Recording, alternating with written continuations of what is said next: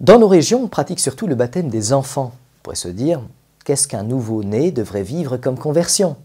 Mais nous constatons en même temps qu'un grand nombre d'adultes, et toujours croissants, demandent le baptême. La plupart de ces personnes ont vécu une conversion profonde, dans le sens où ils ont été touchés spirituellement, au point de vouloir s'approcher de Dieu après cette expérience intérieure.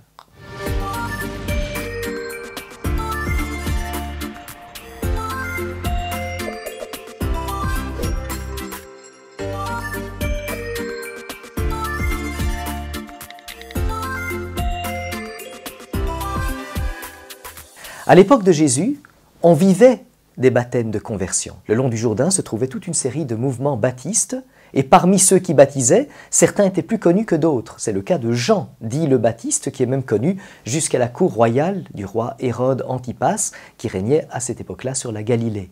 Jean-Baptiste pratiquait un baptême de conversion. Les gens se présentaient sur une rive du Jourdain, proclamaient tout haut leurs péchés, en décidant intérieurement de se convertir, plongeaient dans le Jourdain et ressortaient de l'autre côté, sur l'autre rive, en étant comme nés à une vie nouvelle, en ayant plongé tous leurs péchés dans l'eau du Jourdain pour qu'ils y soient noyés. L'eau, dans tout le langage sémitique, que ce soit en hébreu, en araméen, en syriaque, en acadien, a toujours une double signification selon que le mot est utilisé au singulier ou au pluriel.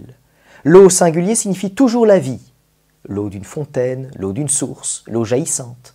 Les eaux au pluriel, les masses d'eau, sont considérées comme les eaux de la mort, les eaux du danger, comme les eaux des mers. À l'époque de Jésus, on ne voyageait jamais sur la grande mer, c'est-à-dire la mer Méditerranée, en s'éloignant des côtes. On gardait la vue sur la côte. La mer est le lieu du danger, le lieu des démons. Et cette double signification se retrouve dans l'eau du baptême. À la fois, le baptisé se rend compte, le futur baptisé se rend compte qu'il y a des choses qui peuvent mourir en lui, qui ne sont pas nécessaires pour s'approcher de Dieu. Et les eaux de la mort peuvent engloutir notre péché, par exemple. À l'inverse, nous avons besoin de puiser à la bonne source pour vivre de la vie du Christ. C'est lui qui est la source d'eau vive. Où iras-tu puiser cette eau? disait la Samaritaine. Tu n'as rien pour puiser. Et de comprendre par après qu'il est lui-même la source d'eau vive. La conversion est le centre de notre vie chrétienne. Vouloir changer son cœur. Qui pourrait dire Moi, je n'ai rien à changer. Tout est bien en moi. C'est parfaitement inconfortable de vivre avec des gens qui ont toujours raison, qui n'ont rien à changer. En revanche, c'est beaucoup plus confortable de vivre avec quelqu'un qui a suffisamment d'humilité que pour reconnaître qu'il y a des choses qui pourraient évoluer, qui pourraient s'améliorer, qui pourraient avancer vers quelque chose de plus harmonieux. Vivre dans le Christ, c'est avoir cette capacité de décision de changer ce qui doit l'être et de consolider ce qui peut l'être. L'effort de conversion est un effort de toute la vie, de sorte que celui qui est baptisé et qui a reçu, suite à cet effort de conversion, le pardon de tous ses péchés, est bien conscient qu'après son baptême, il continue à pécher. C'est la raison pour laquelle cette grâce baptismale continue dans un autre sacrement, celui qu'on appelle le sacrement de la confession ou de la réconciliation, où il s'agit non pas de reconnaître ses péchés parce que nous serions toujours nuls, mais au contraire de découvrir que la grâce de Dieu continue à être diffusée après le baptême.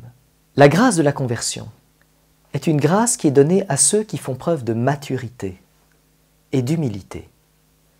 Aller se confesser est une démarche qui est difficile. Lorsqu'on constate que quelque chose ne va pas chez quelqu'un, on peut avoir la tendance de lui faire des remarques. Mais vous faites l'expérience dans votre vie que si quelqu'un vous fait une remarque et que vous ne connaissez pas cette personne, généralement cette remarque va, tomber dans le vide.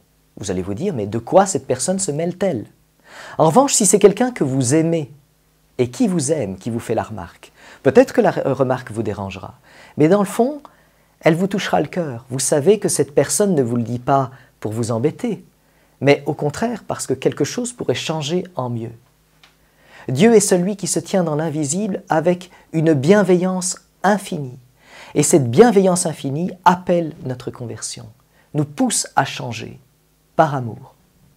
Le chrétien est celui qui croit que le péché n'a pas le dernier mot, que Dieu peut tout pardonner. Et quand il reçoit le baptême, il reçoit le pardon de ses péchés, puisqu'il est plongé dans la mort et dans la résurrection du Christ. Il entre déjà dans la vie éternelle.